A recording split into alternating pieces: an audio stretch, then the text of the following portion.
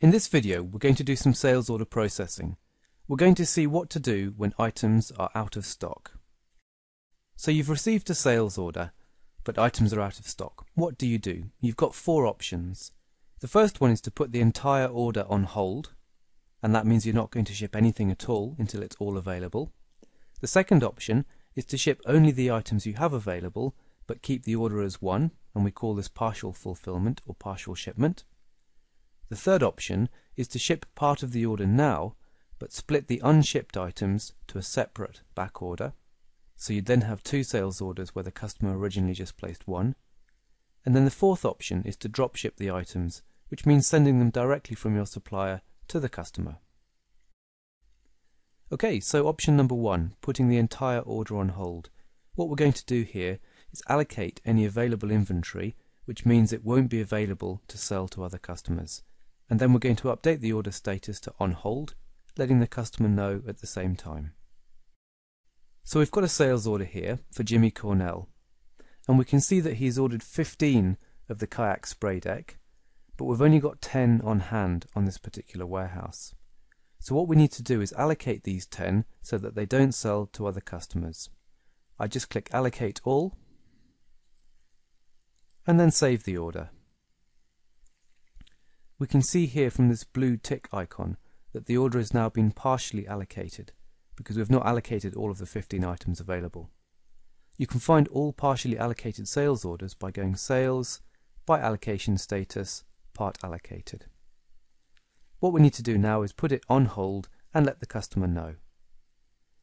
So what I'd do is I'd change the status here to on hold and then in the notes and payment history quickly tap out a note to say that the items are not in stock and you'll be shipping the order later.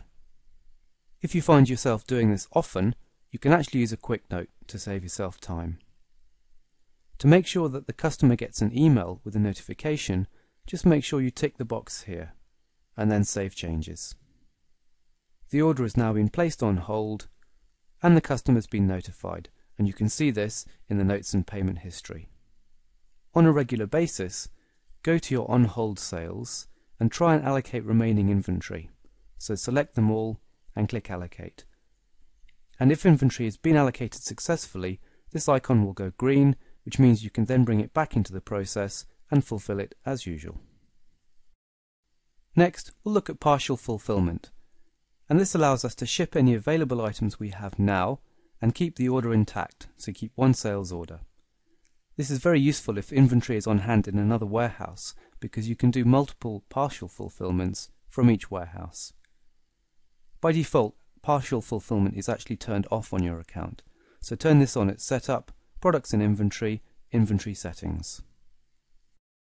So here's that same sales order from Jimmy. This time we're going to ship the 10 items we have on hand, leaving 5 to ship later. And when you've turned on partial fulfillment, you'll see a third option here under the Fulfill link called Partial or Advanced Fulfill. If you click that, it'll take you to the Goods Out screen, where for each row you can see in each warehouse how many items you have on hand. And if you had multiple warehouses here, you'd see how many items were in each warehouse. But we only have 10 in this warehouse, so let's ship 10 now. We'll choose a shipping method, let's go with next day shipping, and then click to create a goods out note. It's also good practice here to update your sale to in progress. We now have a goods out note, which is also called a shipment, and if I click to open this goods out note, you can see that it gives us detail of what's been shipped in this shipment, i.e. 10 items, and then 5 items to follow. Let's close that, which takes us back to the goods out screen, and then from here I can go back to the sale to see that it's been marked as partially shipped because we've got a blue brick icon. Because the 10 items also exist on the goods out note, they're allocated to this particular sale, which means they won't sell to anybody else. When I ship that goods out note, they'll be removed from inventory. I can either leave this sale in progress, or I could update it to on hold. Whatever I do, I can always find these sales by going to my allocation status and seeing those that are part allocated. Similarly, I can go and find all of my sales that have been partially fulfilled. And I'd come back to this list regularly to see if I could allocate any of the remaining inventory. So when goods come in on purchase orders, you come back here, allocate what you can, and then those sales that become fully allocated, you can then progress back into the fulfillment process by creating goods out notes. And this method of partial fulfillment is the one we recommend for most people most of the time. And the third option is splitting to a back order. And what that means is shipping all the available items now and moving the remainder to a back order. This is very useful if you want to invoice for the items that you've just shipped, because with Brightpearl, one order matches one invoice, so you can't do partial invoices if you do partial shipment. It's important to mention that this method cannot be used for integrated online sales channels, such as your e-commerce store, eBay, or Amazon, because in those scenarios, one Brightpearl sales order needs to match one sales channel sales order, so that we can update the sales channel when the order is shipped. So what we have here is a sale from Jimmy, where he's ordered 15 items and we've fulfilled 10 already. We actually want to invoice for the 10 we've fulfilled, so let's split the remaining 5 to a back order. This is a telephone sales order, so that's fine, I can split this. Select all the items that you want to split to back order, and then click Split to Back Order. This will calculate what you have left, so here on order 15 and fulfilled 10, which means we're going to split 5. If he'd paid for this order, then what you can do is you can actually replace those 5 with a placeholder which maintains the price, so that the paid amount matches 15 items. That would make the back order free. In most scenarios, though, you'd want to move the value of these items across to the back order. So don't tick this box. Just click Split to Back Order. We've now got the original order, 32, and the back order, 33. So let's click into 33, where we can see it's automatically been created on a status called back order, and you can set that up at your sales settings, sales workflow. It's been given a parent, in other words, this was the original order ID, number 32. And in the notes and payment history, we can see items have been added from order 32. On the products and prices tab, we can see that the five items here have been brought across from the original sales order. Going back to the original sales order, where it was previously partially allocated and partially fulfilled because the icons were blue, we've now gone fully allocated and all fulfilled, and the quantity has been reduced to 10. This means that when we ship those 10 items, everything will have been shipped and we can therefore invoice it. The fourth and final option is to drop ship the products direct from your supplier to the customer. And this needs you to link your products to suppliers and use the partial fulfillment or goods out screen that we used for partial shipment.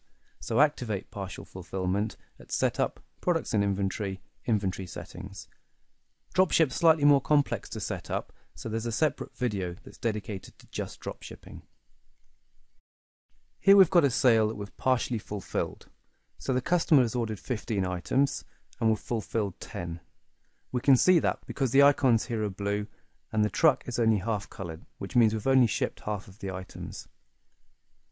What we need to do now is go to the partial or advanced fulfillment screen, where if we had any items in stock, they'd show in our warehouses here, but we can see that we've not got any items in stock.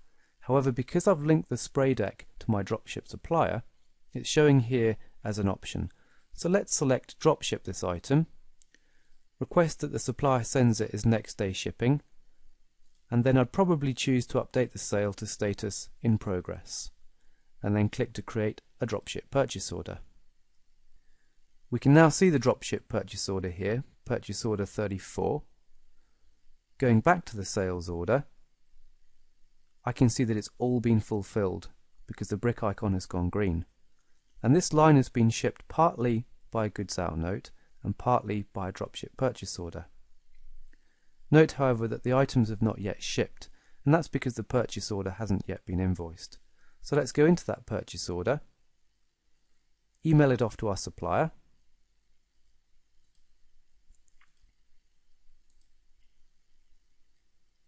which marks the dropship purchase order as placed with supplier.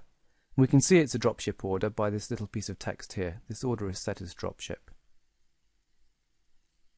When we later receive the invoice for this dropship purchase order, that marks the original sales order as all shipped, and we can go back to that sales order by clicking Parent, where we can see that the truck has all gone fully coloured. So that was a super quick overview on Dropship. Don't forget to watch the full video if that looks like it's something you might use. And that takes us to the end of the sales order processing video, where we see what to do when items are out of stock.